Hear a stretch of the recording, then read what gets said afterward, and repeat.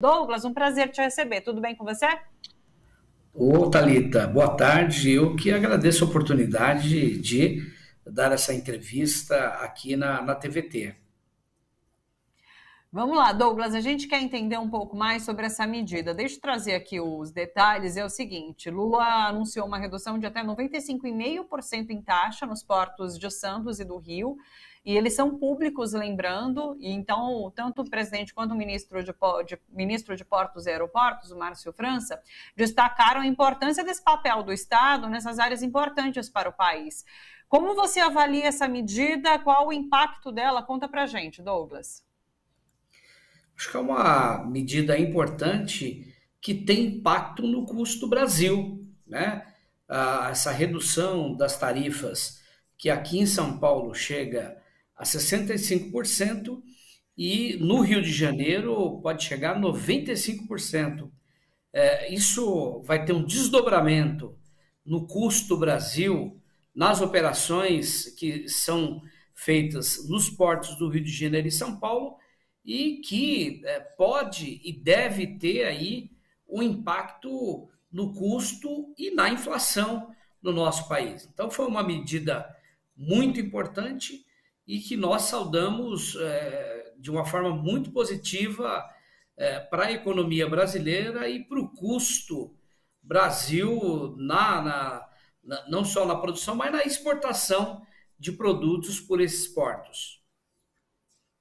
É, o próprio presidente, ele diz o seguinte quando fala sobre isso, que ele acredita que vai baratear custos de da escala toda, né? Então, custo de produção, de, de transporte, de exportação, então acaba tendo impacto é, é grande é, para o trabalhador em geral, é isso, né? Na economia do país, sem dúvida, né? Porque você tem um impacto na produção, porque os produtos que também entram no país e que serão é, industrializados é, chegarão mais barato e o que nós estamos produzindo e que vamos exportar para os vários continentes, esse custo vai ser barateado. Eu acho que é importante essa medida para a gente fazer um debate qual é o papel do Estado brasileiro.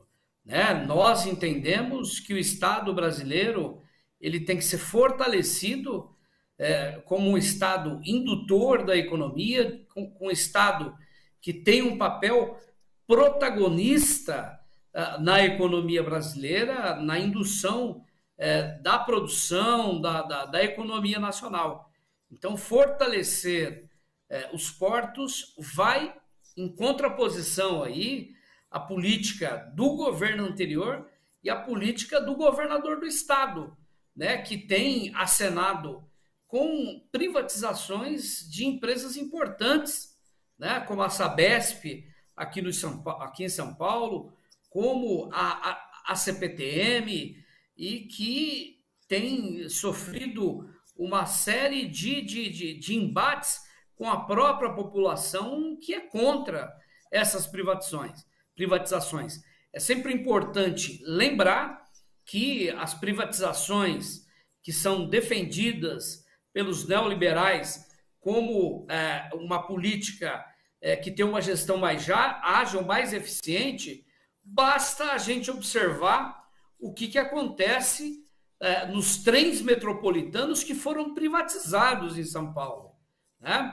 É, na verdade, não melhorou a eficiência e quem está sofrendo com a inoperância das empresas que estão é, tocando essa, essa, os trens metropolitanos é a população com vários problemas que nós acompanhamos diariamente nas manhãs aqui em São Paulo. Bem como, Talita, as privatizações aqui na cidade de São Paulo.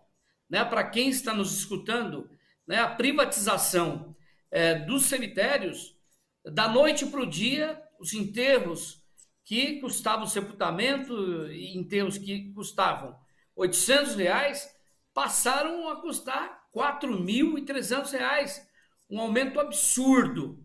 E é importante também lembrar que no Espírito Santo, onde foi privatizado uh, os portos, é, teve um, um reajuste astronômico de mil por cento.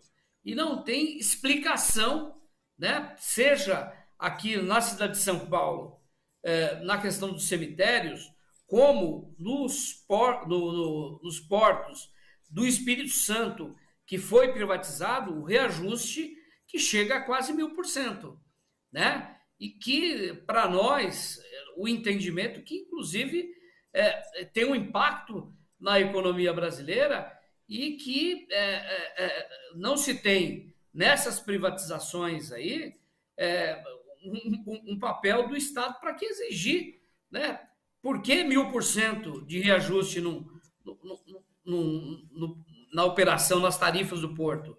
Né? Aqui na cidade de São Paulo, o que explica né, é, uma variação de preço tão grande como esse? Então, é, nós entendemos e recebemos essas medidas como medidas importantes né, para poder é, reconstruir aí e, é, e, trazer uma nova perspectiva para a economia do Brasil com crescimento econômico, é, com geração de emprego e de oportunidades Perfeito. É, acho que tanto a fala de Márcio França quanto a de Lula deixam muito clara, muito claro esse aspecto, aspecto que você trouxe do debate entre privatização e, e dever do Estado, aquilo que fica em mãos do, do Estado, porque Márcio França diz isso, né? Márcio França começa é, a fala dele dizendo que os portos que foram privatizados aumentaram e nós, dos públicos, vamos diminuir essas taxas de embarque e desembarque.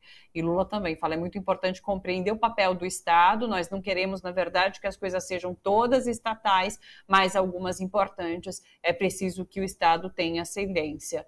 E, e daí, claro, nesse aspecto dos portos, é, sendo uma dessas questões. Acho que é isso. Algo mais a complementar, Douglas? É, eu acho que é importante é, ressaltar que a privatização, quando se passa é, empresas e prestação de serviços que são feitas pelo Estado, o Estado ele não deve e não pode ter uma visão de ter lucro, né? É uma visão de atendimento social, né? Enquanto as empresas privadas ela tem uma visão é, de olhar para dentro do Estado com olhar de empresário. E empresário, ele pensa em ter lucro, oferir lucros. E nós passamos, Talita, é, um, um, um, período, eu acho que desde a década de 90 aí, com, com o Collor, depois com o Fernando Henrique e com os governos golpista do Temer e o governo fascista de Bolsonaro, é, momentos em que é, é esses governos olham para o Estado é, com, e, apontam para o Estado espaços de bons negócios para empresários. E apontam, inclusive, né, setores que são essenciais para a política pública brasileira como espaço de negócios, como é a, a saúde, a educação. E aqui em São Paulo, nesse momento, nós temos um governo que está apontando para o desmonte da educação pública, né? É, com a possibilidade, inclusive, de abrir espaço é, na educação para a atuação de setores privados. E nós condenamos esse tipo de ação porque o setor privado ele pode ter uma ação complementar, mas não estar à frente né, é, da, da, da prestação de serviço da educação, da saúde, é, da assistência social da segurança e outros setores que, no nosso entendimento, é, tem que ser tocado pelo Estado e que tem que ter um olhar social no atendimento das demandas da população do Estado de São Paulo.